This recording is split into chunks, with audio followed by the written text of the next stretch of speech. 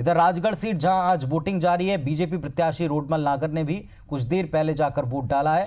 रोडमल नागर ने पचौर के मतदान केंद्र क्रमांक एक सौ नवासी पर वोट किया और रिकॉर्ड वोटों से जीत दर्ज करने का दावा किया। राजगढ़ सीट, जहाँ से रोडमल नागर बीजेपी प्रत्याशी उन्होंने वोट किया, मोना सुस्तानी कांग्रेस कैंडिडेट वहाँ उनके सामने है, जिनसे मुकाबला है।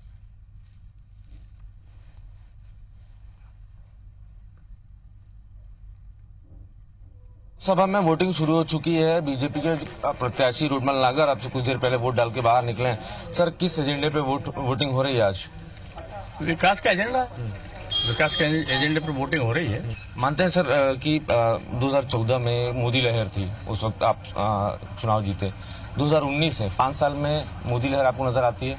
देखिए 2014 में मोदी लहर थी और 2014 में केवल मोदी जी का नाम था।